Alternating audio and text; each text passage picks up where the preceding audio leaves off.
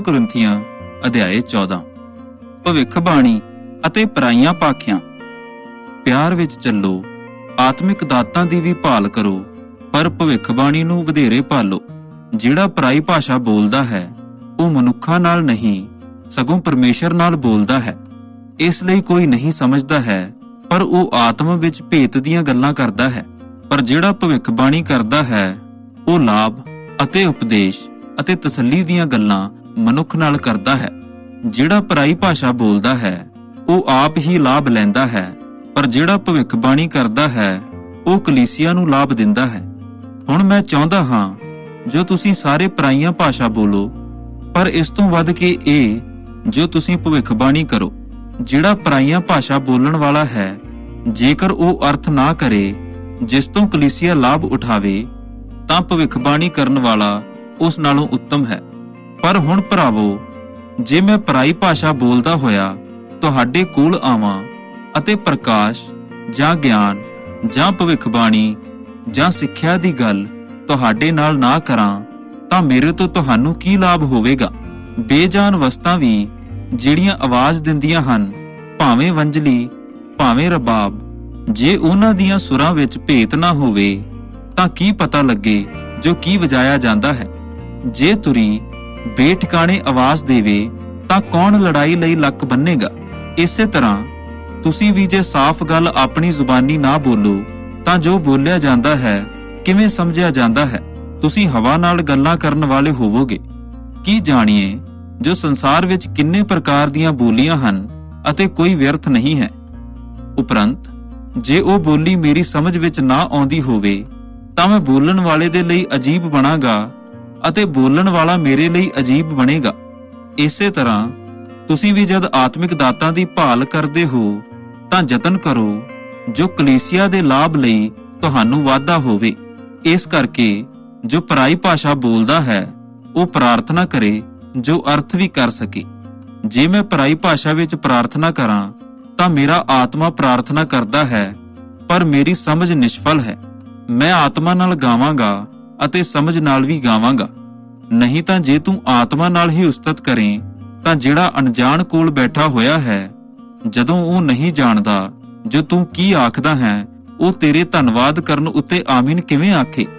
ਤੂੰ ਤਾਂ ਧੰਨਵਾਦ ਚੰਗੀ ਤਰ੍ਹਾਂ ਨਾਲ ਕਰਦਾ ਹੈ, ਪਰ ਦੂਜੇ ਨੂੰ ਕੁਝ ਲਾਭ ਨਹੀਂ ਹੁੰਦਾ। ਮੈਂ ਪਰਮੇਸ਼ਰ ਦਾ ਧੰਨਵਾਦ ਕਰਦਾ ਹਾਂ, ਜੋ ਮੈਂ ਤੁਹਾਡੇ ਸਾਰਿਆਂ ਤੋਂ ਵਧੇਰੇ ਪਰਾਈ ਭਾਸ਼ਾ ਬੋਲਦਾ ਹਾਂ। ਤਾਂ ਵੀ ਕਲੀਸਿਆ ਵਿੱਚ ਪੰਜ ਗੱਲਾਂ ਆਪਣੀ ਸਮਝ ਨਾਲ ਬੋਲਣੀਆਂ ਕਿ ਹੋਰਨਾਂ ਨੂੰ ਵੀ ਸਿਖਾਵਾਂ।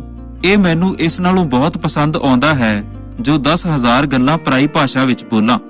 हे ਭਰਾਵੋ, ਤੁਸੀਂ ਬੁੱਧ ਵਿੱਚ ਬਾਲਕ ਨਾ ਬਣੋ, ਤਾਂ ਵੀ ਬੁਰਾਈ ਵਿੱਚ ਨਿਆਣੇ ਬਣੇ ਰਹੋ, ਪਰ ਬੁੱਧ ਵਿੱਚ ਸਿਆਣੇ ਹੋਵੋ।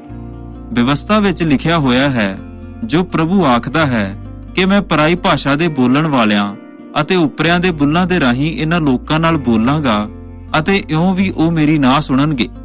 ਸੋ ਪਰਾਈ ਭਾਸ਼ਾ ਵਿਸ਼ਵਾਸੀਆਂ ਲਈ ਨਹੀਂ, ਸਗੋਂ ਅਵਿਸ਼ਵਾਸੀਆਂ ਦੇ ਲਈ ਇੱਕ ਨਿਸ਼ਾਨੀ ਹੈ, ਪਰ ਭਵਿੱਖਬਾਣੀ ਨੇਚਾਹੀਨਾ ਲਈ ਨਹੀਂ, ਸਗੋਂ ਵਿਸ਼ਵਾਸੀਆਂ ਲਈ ਹੈ।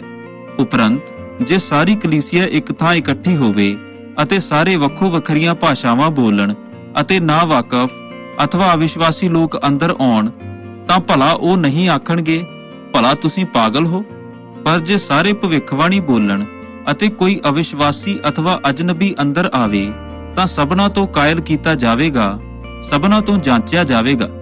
ਉਹਦੇ ਮਨ ਦੀਆਂ ਗੁਪਤ ਗੱਲਾਂ ਪ੍ਰਗਟ ਹੋਣਗੀਆਂ ਅਤੇ ਉਹ ਪਰਮੇਸ਼ਰ ਨੂੰ ਮੱਥਾ ਟੇਕੇਗਾ ਅਤੇ ਆਖੇਗਾ, ਭਾਈ ਸੱਚੀ ਮੁੱਚੀ ਪਰਮੇਸ਼ਰ ਇਹਨਾਂ ਦੇ ਵਿੱਚ ਹੈ। ਆਰਾਧਨਾ ਵਿੱਚ ਅਨੁਸ਼ਾਸਨ। ਸੋ ਭਰਾਵੋ, ਗੱਲ ਕੀ ਹੈ? ਜਦੋਂ ਤੁਸੀਂ ਇਕੱਠੇ ਹੁੰਦੇ ਹੋ, ਤਾਂ ਕਿਸੇ ਦੇ ਕੋਲ ਭਜਨ, ਕਿਸੇ ਦੇ ਕੋਲ ਸਿੱਖਿਆ, ਕਿਸੇ ਦੇ ਕੋਲ ਅਗਮ ਗਿਆਨ, ਕਿਸੇ ਦੇ ਕੋਲ ਪਰਾਈ ਭਾਸ਼ਾ ਕਿਸੇ ਦੇ ਕੋਲ ਅਰਥ ਹੈ, ਸਭ ਕੁਝ ਲਾਭ ਦੇ ਲਈ ਹੋਣਾ ਚਾਹੀਦਾ ਹੈ। ਜੇ ਕੋਈ ਪਰਾਈ ਭਾਸ਼ਾ ਬੋਲੇ, ਤਾਂ ਦੋ ਦੋ ਅਥਵਾ ਵੱਧ ਤੋਂ ਵੱਧ ਤਿੰਨ ਤਿੰਨ ਕਰਕੇ ਬੋਲਣ, ਸੋ ਵਾਰੋ ਵਾਰੀ ਅਤੇ ਇੱਕ ਜਣਾ ਅਰਥ ਕਰੇ। ਪਰ ਜੇ ਕੋਈ ਅਰਥ ਕਰਨ ਵਾਲਾ ਨਾ ਹੋਵੇ, ਤਾਂ ਉਹ ਕਲੀਸਿਆ ਵਿੱਚ ਚੁੱਪ ਰਹੇ ਅਤੇ ਆਪਣੇ ਨਾਲ ਅਤੇ ਪਰਮੇਸ਼ਰ ਨਾਲ ਬੋਲੇ ਅਤੇ ਨਬੀਆਂ ਵਿੱਚੋਂ ਦੋ ਅਥਵਾ ਤਿੰਨ ਬੋਲਣ ਅਤੇ ਬਾਕੀ ਦੇ ਪਰਖਣ। ਪਰ ਜੇ ਦੂਜੇ ਉੱਤੇ ਜੋ ਕੋਲ ਬੈਠਾ ਹੋਇਆ ਹੈ ਕਿਸੇ ਗੱਲ ਦਾ ਪ੍ਰਕਾਸ਼ ਹੋਇਆ ਹੋਵੇ, ਤਾਂ ਪਹਿਲਾਂ ਚੁੱਪ ਰਹੇ। ਕਿਉਂ ਜੋ ਤੁਸੀਂ ਸਾਰੇ ਇੱਕ ਇੱਕ ਕਰਕੇ ਭਵਿੱਖਬਾਣੀ ਕਰ ਸਕਦੇ ਹੋ, ਤਾਂ ਜੋ ਸਾਰੇ ਸਿੱਖਣ ਅਤੇ ਸਾਰੇ ਦਿਲਾਸਾ ਪਾਉਣ। ਅਤੇ ਨਬੀਆਂ ਦੇ ਆਤਮੇ ਨਬੀਆਂ ਦੇ ਵਸ ਵਿੱਚ ਹਨ। ਕਿਉਂ ਜੋ ਪਰਮੇਸ਼ਰ ਗੜਬੜੀ ਦਾ ਨਹੀਂ, ਸਗੋਂ ਸ਼ਾਂਤੀ ਦਾ ਪਰਮੇਸ਼ਰ ਹੈ। ਜਿਵੇਂ ਸੰਤਾਂ ਦੀਆਂ ਸਾਰੀਆਂ ਕਲੀਸਿਆਵਾਂ ਵਿੱਚ ਹੈ। ਕਲੀਸਿਆਵਾਂ ਵਿੱਚ ਔਰਤਾਂ ਚੁੱਪ ਰਹਿਣ, ਕਿਉਂ ਜੋ ਉਹਨਾਂ ਨੂੰ ਬੋਲਣ ਦੀ ਆਗਿਆ ਨਹੀਂ ਹੈ, ਸਗੋਂ ਉਹ ਅਧੀਨ ਰਹਿਣ। ਜਿਵੇਂ ਵਿਵਸਥਾ ਵੀ ਕਹਿੰਦੀ ਹੈ। ਅਤੇ ਜੇ ਕੁਝ ਸਿੱਖਣਾ ਚਾਹੁੰਦੀਆਂ ਹਨ, ਤਾਂ ਘਰ ਵਿੱਚ ਆਪੋ ਆਪਣੇ ਪਤੀਆਂ ਨੂੰ ਪੁੱਛਣ, ਕਿਉਂ ਜੋ ਔਰਤ ਦੇ ਲਈ ਕਲੀਸਿਆ ਵਿੱਚ ਬੋਲਣਾ ਸ਼ਰਮ ਦੀ ਗੱਲ ਹੈ। ਭਲਾ, ਪਰਮੇਸ਼ਰ ਦਾ ਬਚਨ ਤੁਹਾਡੇ ਵਿੱਚੋਂ ਹੀ ਨਿਕਲਿਆ, ਅਥਵਾ ਨਿਰਾ ਤੁਹਾਡੇ ਹੀ ਤੱਕ ਪਹੁੰਚਿਆ?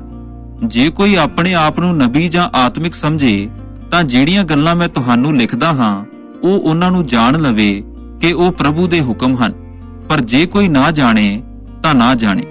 ਗੱਲ ਕਾਦੀ ਮੇਰੇ ਭਰਾਵੋ, ਭਵਿੱਖਬਾਣੀ ਕਰਨ ਨੂੰ ਭਾਲੋ ਅਤੇ ਪਰਾਈ ਭਾਸ਼ਾਵਾਂ ਬੋਲਣ ਤੋਂ ਨਾ ਰੋਕੋ, ਪਰ ਸਾਰੀਆਂ ਗੱਲਾਂ ਢੰਗ ਸਿਰ ਅਤੇ ਜੁਗਤੀ ਨਾਲ ਹੋਣ।